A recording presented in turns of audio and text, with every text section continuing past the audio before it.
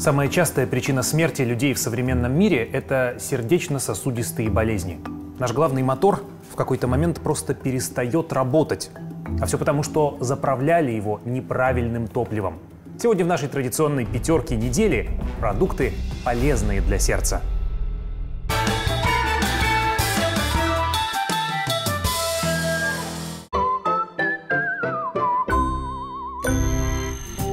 Хурму иногда даже называют сердечным яблоком. Сразу несколько исследований, например, проведенные в Израиле, подтвердили, что эти плоды успешно борются с атеросклерозом за счет пектина и антиоксидантов.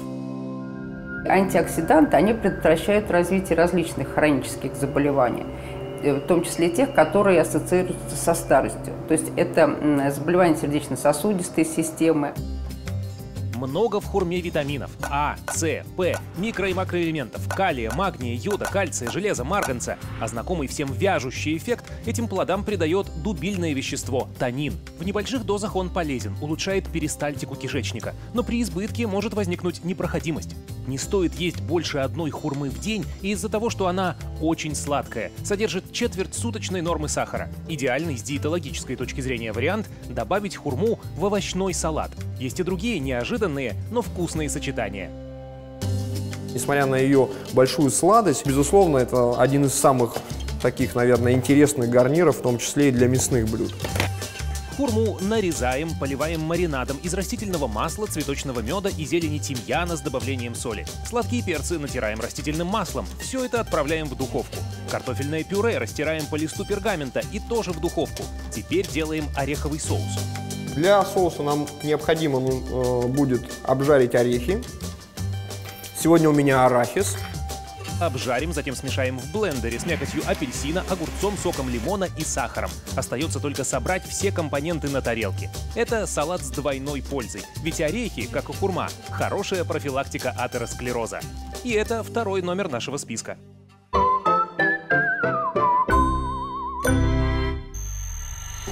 Все орехи – богатейший источник полиненасыщенных жирных кислот омега-3 и омега-6, которые организм самостоятельно не вырабатывает.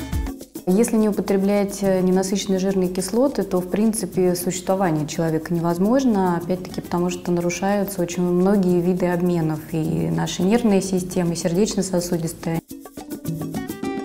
Самыми полезными все же считаются грецкие орехи. Их обычно рекомендуют съедать по горсточке в день, отдельно или в смеси с другими орехами. Продукт это калорийный, поэтому перебарщивать не стоит.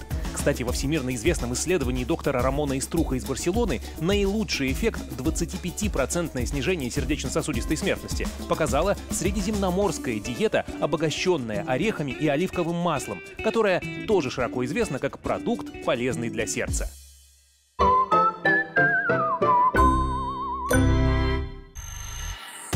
Под номером 3 мы поставили малоизвестного помощника в борьбе с атеросклерозом. Это чеснок. Американский ученый Мэтью Будов уже несколько лет изучает пациентов-сердечников, которым дважды в день дает чесночный экстракт. Результат потом оценивают по томограммам сосудов. У некоторых пациентов было множество холестериновых бляшек в сосудах, когда мы начинали исследование.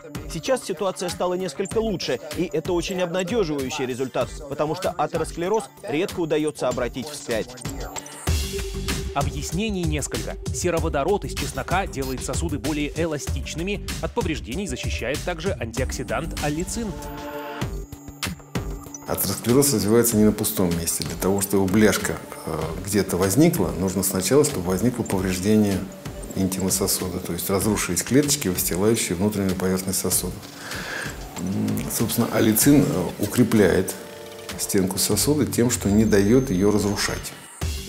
Чтобы получить пользу для сердца, не обязательно есть чеснок свежим, пугая окружающих. Некоторые исследования показали, что так будет эффективнее, но неплохо работают и сухие экстракты. Разумеется, только по согласованию с врачом.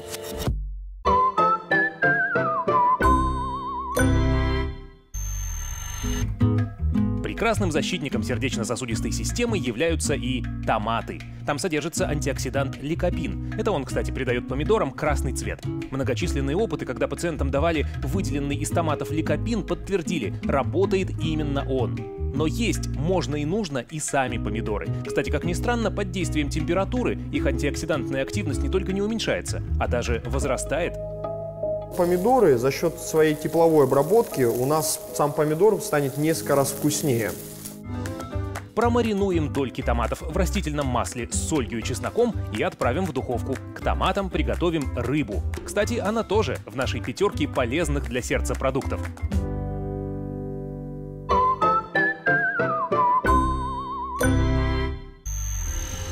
Рыба жирных сортов. Тунец, скумбрия, сельдь, лососевые, палтус очень богата омега-3 жирными кислотами, которые нас спасают. Основной профилактикой атеросклероза сосудов является применение полиненасыщенных жирных кислот. Собственно, для этого их и дают, чтобы привести в порядок, уменьшить содержание вредного холестерина в организме. Вот вам вкусный вариант. Слегка обжариваем филе на сковороде с чесноком, тимьяном и лимоном, доводим до готовности в духовке. Отличным гарниром станут томленые овощи. И вкусно, и полезно. Итак, у нас получился настоящий сердечный обед. Салат из глазированной хурмы с ореховым соусом и рыба с томатами и овощным гарниром. Все точные рецепты на сайте еда.шоу и на страничках «Еда живая и мертвая» в Фейсбуке, ВКонтакте и Одноклассниках. Приятного аппетита и здоровья вам!